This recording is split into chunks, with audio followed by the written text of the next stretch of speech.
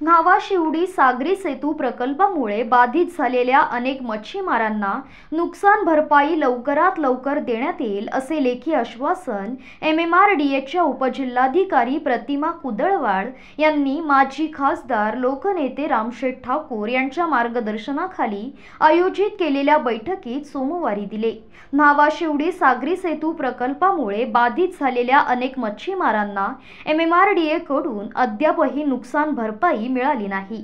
या पार्श्वभूमीवर माजी खासदार लोकनेते रामशेठ ठाकूर आमदार प्रशांत ठाकूर आणि आमदार महेश बालदे यांच्या वतीने सातत्यपूर्ण पाठपुरावा सुरू आहे. येत्या बारा जानेवारीला या अटल सेतूचे लोकार्पण देशाचे पंतप्रधान नरेंद्र मोदी यांच्या हस्ते होणार आहे. त्या पार्श्वभूमीवर रामशेठ ठाकूर इंटरनॅशनल स्पोर्ट्स कॉम्प्लेक्समध्ये एम एम आर डी एचे अधिकारी तसेच प्रकल्पग्रस्त मच्छीमारांची बैठक सोमवारी आयोजित करण्यात आली होती. या बैठकीत माजी खासदार लोकनेते रामशेठ ठाकूर आणि आमदार प्रशांत ठाकूर यांनी मच्छीमारांना लवकरात लवकर नुकसान भरपाई देण्यात यावी याची आग्रही मागणी केली.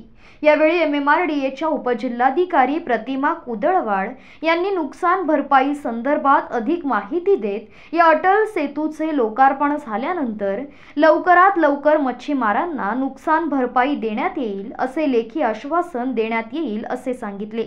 तसेच वहाळ ग्रामपंचायतीचे उपसरपंच अमर म्हात्रे यांनीही जे खरोखर पात्र आहेत त्यांनाही नुकसान भरपाई मिळावी अशी मागणी केली.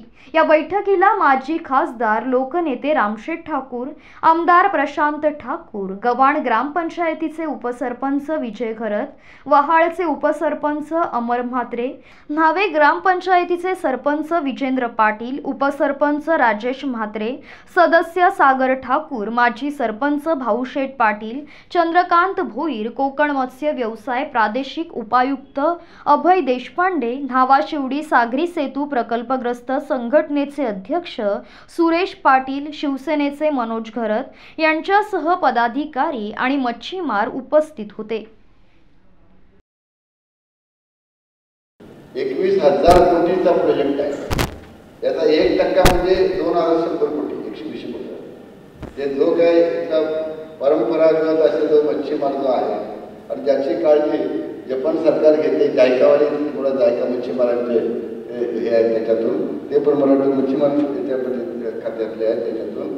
तर मग हा एक टक्का सुद्धा जर दोन हजार शंभर कोटी द्यायला पाहिजे. अर्धा टक्का दिला तरी आम्हाला अकराशे कोटी द्यायला पाहिजे. तुम्ही अर्धा टक्का दिला तरी आम्हाला अकराशे कोटी द्यायला पाहिजे. त्यामुळं आम्ही आमची करारनामे तुमच्याकडे दिलेली आहे. कॅम्परवर दिलेलं आहे. त्यापेक्षा आणखी काय देणं मला वाटत नाही. आणि तुम्ही सांगितल्याप्रमाणे आम्ही गाव चावडी जे असते त्या चावडी वाचन करून वगैरे झाले. त्याकरता तुम्ही पाठवलेले प्रतिनिधी आलेले होते. त्यामुळे जास्त टाईम न करता हे साधारण झाले ते बरोबर आहे. किरकोळ प्रमाणात त्यात काही लोकांचं अगदीच करा चुकीचं असेल तर तितके पण बघून पण उरलेल्या सर्व तुम्ही ताबडतोब द्यावं अशी आमची मला विनंती आहे. संघर्षाचा इतिहास आम्हाला आहे पण तो संघर्ष करत असताना दिबा पाटील साहेब सांगायचे की चर्चेच्या माध्यमातून पदरात जे पडेल ते पाडून घ्यायचं असतं. पण त्याहीपेक्षा पहिलं त्यांनी सांगितलेलं होतं की संघर्षाशिवाय काही मिळत नसतं. आज तो संघर्ष आमचा वारंवार करून झाला आहे आणि त्यामुळे चर्चेच्या माध्यमातून जर आमच्या पत्रात काही पडणार असेल तर ते आम्ही निश्चितपणानं पाडून घ्यायला तयार आहोत. याही आधी काही लोकांना मिळून दिलेले आहेत खरं तर आपल्या सुरुवातीच्या कालावधीमध्ये ज्या वेळेला आपण आवाहन करत होतो त्यावेळेला माधव कोळी दाखले याच्या संदर्भातला विषय जर त्यावेळेला आला नसता तर आता मला असं वाटतं की बहुतेक लोकांचा दाखल्यांचा आणि या नुकसान भरपाईचा विषय त्याच वेळेला निघून गेला असता. ठीक आहे काही वेळेला परिस्थिती तशी उद्भवते पण त्या परिस्थितीनुसार काही गोष्टी या आपल्या बदलत जातात. मला असं वाटतं की आता बारा तारीख ठीक आहे बारा तारखेच्या आधी नाही तर बारा तारखेच्या पुढे किती दिवसात हे तुमच्याकडून कारवाई होणार आहे की ज्याच्या आधारे या लोकांना आम्ही तो विश्वास देऊ शकू हे सुद्धा आम्हाला तुमच्याकडून कळालं पाहिजे. तुमच्या जे मागण्या आहेत त्याच्यावर नक्कीच विचार केला जाईल. आपले जे प्राप्त झालेले अर्ज आहेत त्याच्यावर आम्ही व्हेरिफिकेशन करतो.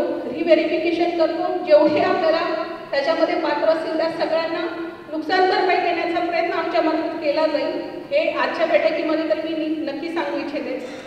दुसरा एक विषय होता की आपलं बारा तारखेचा सगळ्यात महत्त्वाचा प्रोग्राम आहे देशाचे पंतप्रधान आपल्या एम टी एच एलच्या उद्घाटनासाठी इतर प्रोजेक्टसाठी सुद्धा येत आहेत. तर क- आपल्याला नम्र विनंती आहे की कुठलेही आपल्या ह्याच्यासाठी बाधा होऊ नये दौऱ्यामध्ये काही इश्यू होऊ नये तर या संदर्भात आपल्याला विनंती आहे की आपण कुठलंही त्या दृष्टीचं पाऊल घेऊ नये. आपल्या ज्या मागण्या आहेत त्याच्यामध्ये नक्कीच सकारात्मक दृष्टीने आम्ही विचार करू.